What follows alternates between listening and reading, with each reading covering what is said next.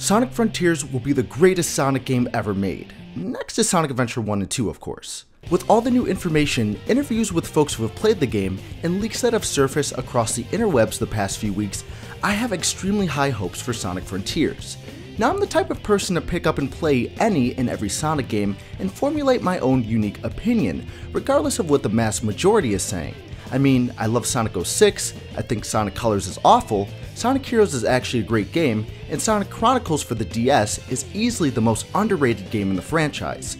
Even when the initial Sonic Frontiers gameplay from IGN released and everyone was talking about how rough it looked, I was still extremely excited for it. I've been looking forward to a Sonic game with full-on combat, 3D exploration, and a great story for a long time, and it seems this game will deliver on all those fronts.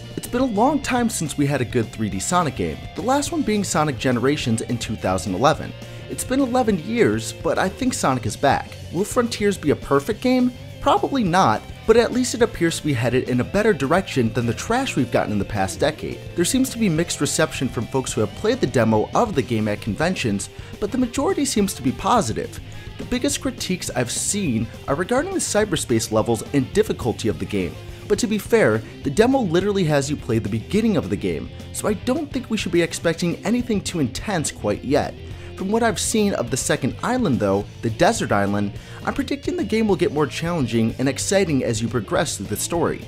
I think the puzzles will get harder, bosses will kick your ass more, and the cyberspace levels will switch up and possibly get longer. The game is also said to be over 30 hours long to complete the main story. Now I've played a lot of RPGs and I doubt it'll take that long to complete the base game, but to complete it 100%, as in collecting everything and finding all the secrets the game has to offer, I could see Sonic Frontiers maybe taking that long.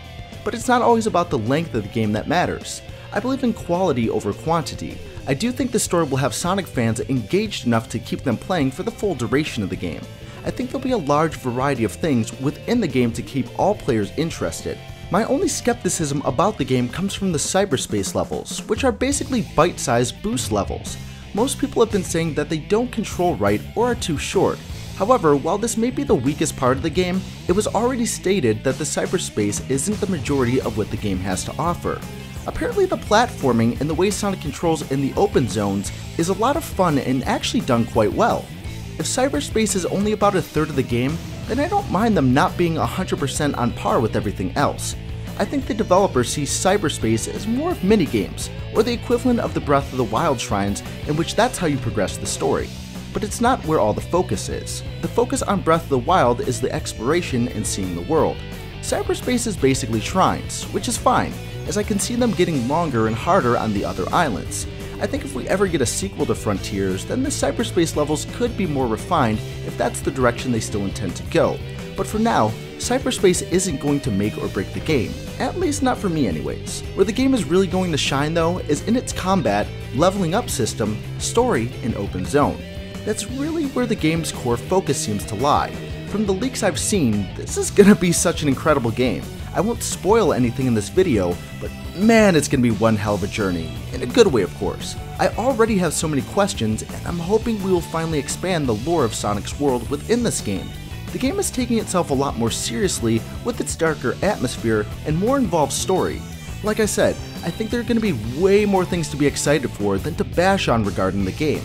Sure, people are noticing some graphical issues and are disappointed with the cyberspace levels that we've seen, but the bosses, combat, story, open world platforming, and everything else seem to be great. This is easily a better direction for Sonic, and I'm excited to see where it all goes. But what do you guys think? Are you guys excited for Sonic Frontiers?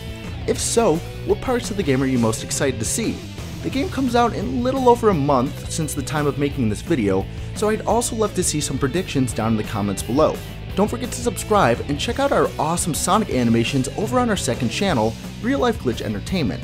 But until then, I'll see you guys in the next one. Peace out.